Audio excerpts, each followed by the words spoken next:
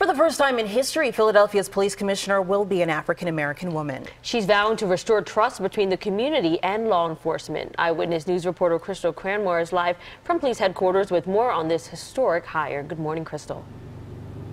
Good morning. Well, the new commissioner says it does not matter what city you're from, what police department you head. She says she's ready for the job because she's familiar with 21st century policing.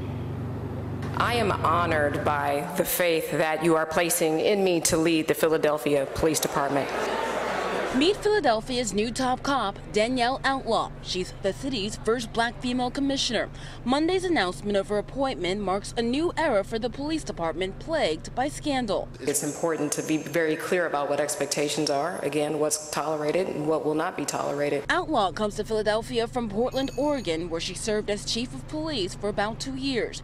The 43 year old also served roughly two decades in Oakland, California's police department. Portland's homicide rate only a fraction of Philadelphia's 350 plus homicides this year.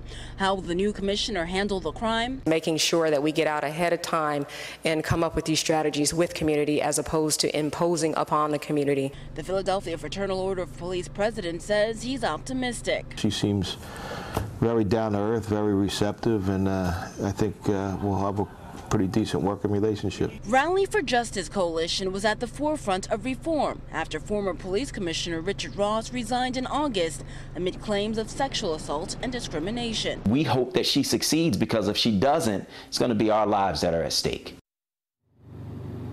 Now, in terms of crime fighting, the new commissioner says it's important to embrace the use of human resources as well as community input. She starts her new role in February.